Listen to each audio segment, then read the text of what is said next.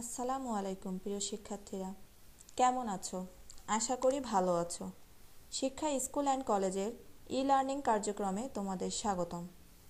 আমি তোমাদের বিষয় শিক্ষক পিঙ্কি শর্মা। আজ তোমাদের সামনে ব্যবসায় উদ্যোগ বিষয়টি উপস্থাপন করব। প্রথম অধ্যায়, পাঠ এক, দুই, তিন নিয়ে আমরা আজকে কথা বলব। প্রথম অধ্যায় পার্ট এক, ব্যবসায়ের ধারণা। পার্ট দুই, ব্যবসায়ের উৎপত্তি ও ক্রমবিকাশ। পার্ট তিন, ব্যবসায়ের আওতা ও প্রকারভেদ। পার্ট এক, ব্যবসায়ের ধারণা। সাধারণভাবে মুনাফা অর্জনের লক্ষ্যে পরিচালিত অর্থনৈতিক কর্মকাণ্ডকে ব্যবসায় বলে। পরিবারের সদস্যদের জন্য খাদ্য উৎপাদন করা হাঁস মুরগি পালন করা, সবজি চাষ করাকে ব্যবসায় বলা যায় না। কিন্তু যখন কোনো কৃষক মুনাফার আশায় ধান চাষ করে বা সবজি ফলায়, তা ব্যবসায় বলে গণ্য হয়। তবে মুনাফা অর্জনের উদ্দেশ্যে পরিচালিত সকল অর্থনৈতিক কর্মকাণ্ড ব্যবসা বলে গণ্য হবে যদি সেগুলো দেশের আইনে বৈধ ও সঠিক উপায়ে পরিচালিত হয়। এছাড়াও আমি আরেকটু বর্ণনা করব। যেটা হচ্ছে, ব্যবসায়ের আরও কিছু বৈশিষ্ট্য আছে, যা একে অন্য একে অন্য সব পেশা থেকে আলাদা করেছে। ব্যবসায়ের সাথে জড়িত পণ্য বা সেবার অবশ্যই আর্থিক মূল্য থাকতে হবে। ব্যবসায়ের আরেকটি বৈশিষ্ট্য হলো এর সাথে ঝুঁকির সম্পর্ক। মূলত মুনাফা অর্জনের আশাতেই ব্যবসায়ী অর্থ বিনিয়োগ করে। শিক্ষার্থীরা নিশ্চয়ই বুঝতে পেরেছ ব্যবসায় কাকে বলে। এরপর আমরা পরবর্তী পাঠ পাঠ দুইয়ে যাব। পাঠ দুইয়ে আমরা দেখতে পাচ্ছি ব্যবসায়ের উৎপত্তি ও ক্রমবিকাশ। ব্যবসায়ের উৎপত্তি ও ক্রমবিকাশের আলোচনায় আমরা প্রথমেই শুরু করব কীভাবে ব্যবসায়ের শুরু হয়। এক পর্যায়ে দেখা যাচ্ছে যে দিনে দিনে মানুষের চাহিদা বৃদ্ধি পাবার সাথে সাথে অর্থনৈতিক কর্মকাণ্ডের আওতাও বাড়তে থাকে। ফলে শুরু হয় পশু শিকার, খাদ্যশস্য উৎপাদন ও পণ্য বিনিময়ের মতো কর্মকাণ্ড। কিন্তু পণ্য বা দ্রব্য বিনিময় করেও প্রয়োজন মেটানো যায়নি। ফলে দ্রব্য বিনিময়ের স্থলে বিনিময়ের মাধ্যমে হিসাব স্বর্ণরূপের মুদ্রা ও পরবর্তীকালে কাগজি মুদ্রার প্রচলন হয়। ব্যবসায়ের ক্রমবিকাশের ধারাকে প্রাচীন, মধ্য ও আধুনিক যুগ এই তিনটি পর্যায়ে বিভক্ত করা হয়েছে। আমরা প্রাচীন যুগে দেখতে পাচ্ছি পশু শিকার, মৎস্য শিকার, ফলমূল আহরণ, কৃষিকার্য, দ্রব্য বিনিময় এগুলো হয়ে থাকত।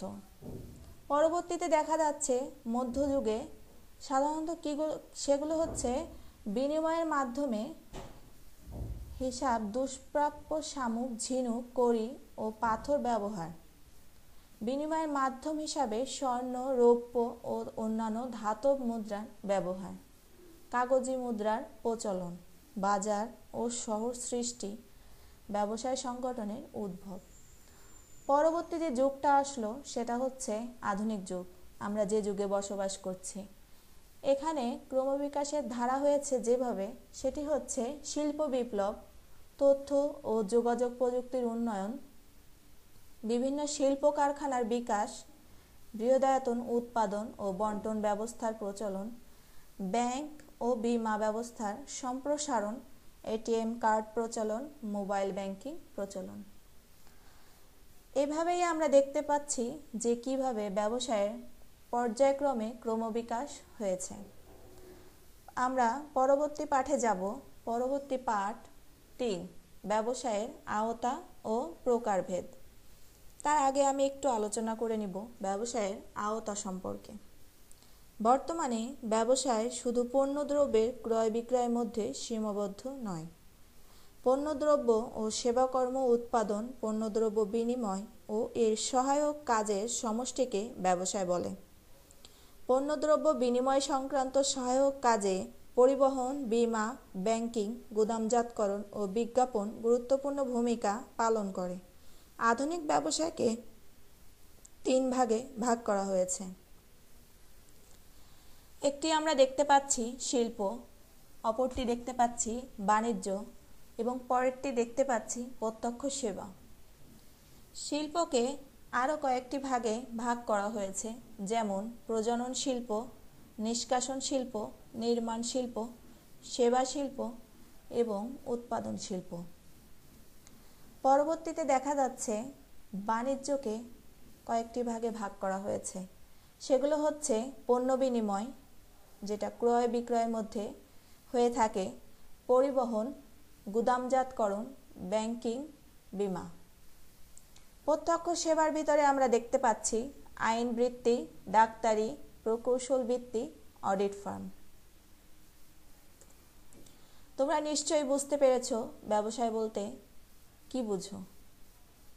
ব্যবসায়ের উত্তর উৎপত্তি ও ক্রমবিকাশের ধারাগুলো বর্ণনা করো। ব্যবসাকে প্রধানত কয়টি ভাগে ভাগ করা হয়েছে? এগুলো পরবর্তীতে বাড়ির কাজ করবে তোমরা। সুতরাং, যদি তোমাদের কোনো কিছু ওখানে বুঝতে সমস্যা হয়, তাহলে অবশ্যই নিচে কমেন্ট করে জানাবে। সুস্থ জীবন ও সুস্থ পৃথিবী এই কামনায় এখানেই শেষ করছি। আল্লাহ হাফেজ। ধন্যবাদ।